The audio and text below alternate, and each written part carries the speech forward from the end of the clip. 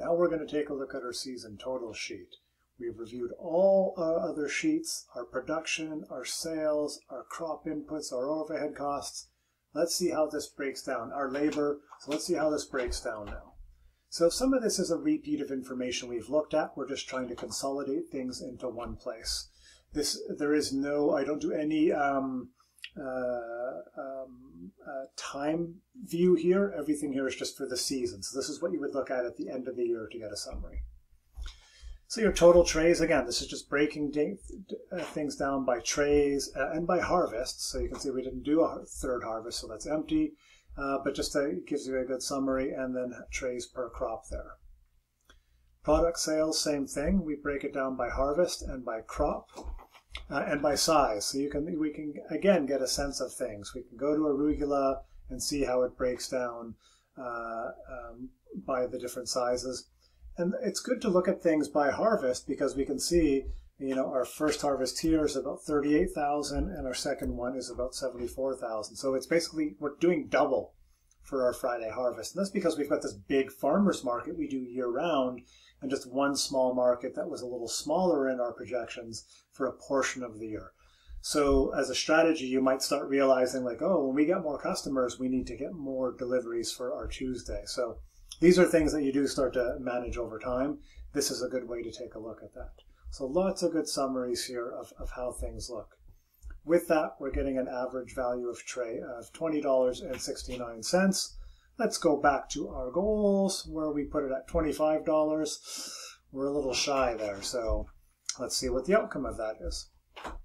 And 25 is a total guess, really, basically. Uh, so packaging costs, again, breaking things down by the different units and different crops. So we've just got a good look at things there. We have a good sense of how this all relates. Our average packaging cost per tray at about 27. There's our growing medium cost and our average growing medium cost per tray. And then our seed costs there and our average seed cost per tray. And as you remember, a lot of these vary quite a bit. So these are just averages across all your trays. So your total inputs are about $2.82 per tray. A summary of our overhead, which is about $4.25 per tray. Um, didn't we have that at 505 earlier? No, good. Yeah, we switched it right. Good. Um, our labor costs here at 15 bucks per tray. And so now we get to the meat of things here.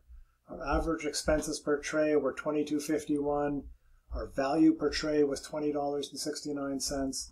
So we lost $1.82 per tray in this season. Our total revenue was $113,000, so more than we expected, but our expenses were $126,000. And so this year we're down $10,000. So you might look at this and go like, oh, fuck.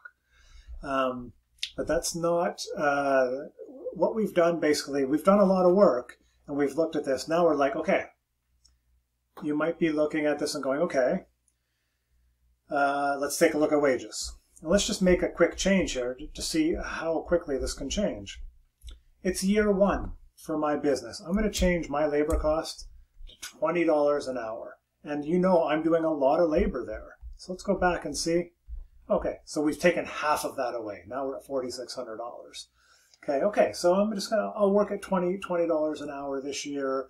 The hours we're not gonna reduce because it's probably not even representative of all the hours we're gonna do. Now I won't go through this, but now what I'm going to do is I'm going to start going through things. And I'm going to start going like, where can we eliminate costs? Um, is our seed pricing accurate? You know, can we get our, our uh, packaging cost down? Now let's use the example I gave you before. We do small and medium packaging for our retail stuff. But our for our big things, we actually don't package it in a clamshell. We package it in just a bag that comes on a roll that's relatively cheap.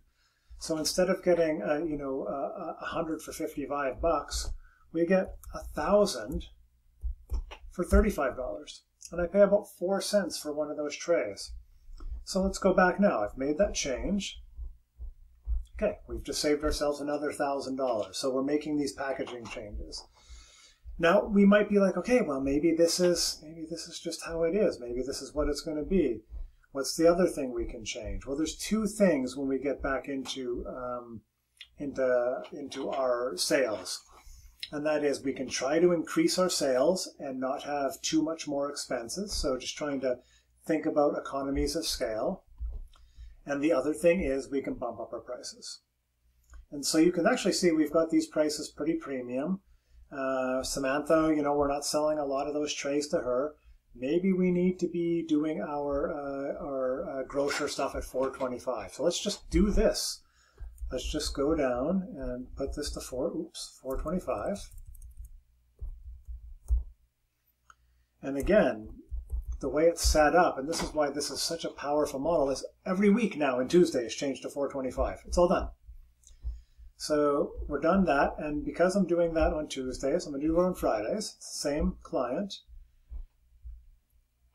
And same one, 4.25. You can see they're doing more on these days. So all I've done is with one grocer change my pricing to 425, which may not be realistic. That might be a set price with that grocer, but I'm selling a lot of those small units, if you remember. Like, that's a lot of sales and a lot of expenses with that packaging. Okay, so we've just saved ourselves another, we've gained ourselves more, right? So we've, we've, we've generated more revenue.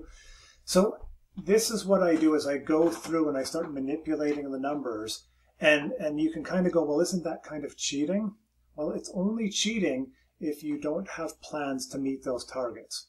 I'm going to talk to that grocer and see about getting that uh, price to 425. And if they're good, that's great. So we've changed the one grocer there. Um, let's go back to those orders. Um, yeah, like 21 bucks for a large thing. I don't think I'm going to charge people any more than that, to be honest. Dwight's paying a good price there. You know, we could try about bumping up our farmers markets, but those are decent numbers. So it might be, you know, um, I'm gonna, gonna go to my labor. I'm gonna be like, you know what? I wanted to offer this position at 18, but you know that's a $17 an hour position. I might lose some skill there, but you know I just in the early season it's not going to work. Okay, so now we're getting closer. So you can see how this tool, once you've got the base amount of stuff down there, uh, you can start manipulating things. Um, yeah, and as we saw, like a big change we can make. You know what? It's like year one, uh, let's just start at 18 bucks an hour. I just left my cushy software engineering job. I got lots of money in the bank. You know, let's just, you know, it doesn't matter if I if I break even. Okay, great. So what this means now by changing all that stuff and me making $18 an hour, and you can see how much labor makes a difference. Uh, now the business is profitable. Now what this means is I basically have $3,200 to spend back into the business or I can just take that money as, as the business owner. Um, $3,200 profit on $114,000 in sales isn't a lot, though. It's, it's, you know, it's 2%. It's not very much at all. And when you're figuring your labor into here, you want to be up around 10 to 20%. And I know we talk about 50% margins, but you're going to have a hard time doing that um, in, in many ways. And once again, you are paying yourself. So if you're doing $100,000 a year in sales and the business is making $20,000 in profit after you and all your expenses have been paid, that's not bad. That's good amount of money to invest back into the business. It shows it's a viable model. It allows you to bump up your wages and uh, you know so you can be up at 25 30 bucks an hour, right? And then maybe your profits are only, you know, $5,000 but in reality, you and the business are the same. So if the business is making less money, it just means more of your wages are going back to the business to pay for infrastructure. So lots of different ways to look at that. But um, hopefully now looking at how this all ends up uh, working into our season totals gives you a sense of once you've gone through and set up the spreadsheet, you can start manipulating it to make this more profitable. And what you're going to do at a certain point to be like, okay, well, I want a 25 or 30% margin. Then you're generally going to your pricing and bringing your pricing up, trying to bring your labor costs down. Uh, but again, your pricing can only go so high and your labor costs can only go so low and still run a viable business. Lots to think about there.